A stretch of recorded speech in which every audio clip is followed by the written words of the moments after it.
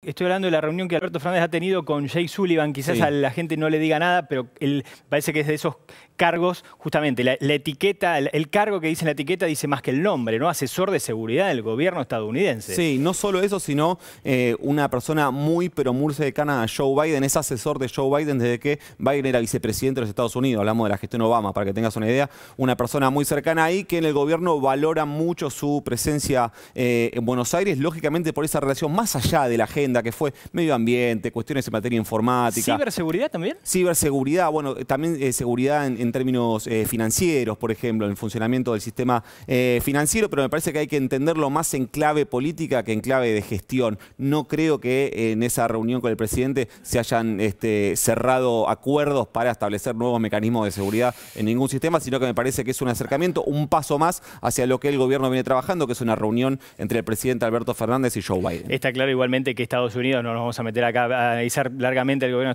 de Estados- Unidos, pero quiere hacerse fuerte en todo tipo de reuniones, eh, sobre todo donde sabe que hay buenas relaciones con China. Sí, exactamente. De hecho, nosotros lo contamos acá en el noticiero, esta, esta voluntad que de alguna manera le llevó o le, acercó el presidente Alberto Fernández a Joe Biden, de decir, hay tres actores en la región que podemos ayudar a calmar lo que en muchos países es este, un- una situación política eh, muy delicada.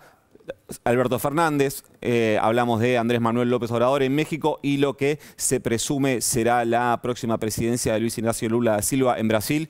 Si es que esa proyección se puede hacer de alguna manera, bueno, esas son las patas en las cuales eh, el presidente Alberto Fernández le ofrece a Joe Biden para decir, bueno, nosotros pacificamos la región y vos enfocate en la guerra que tenés con Claro. China, que es muchísimo más grande y nos excede. Completísimo, Nico.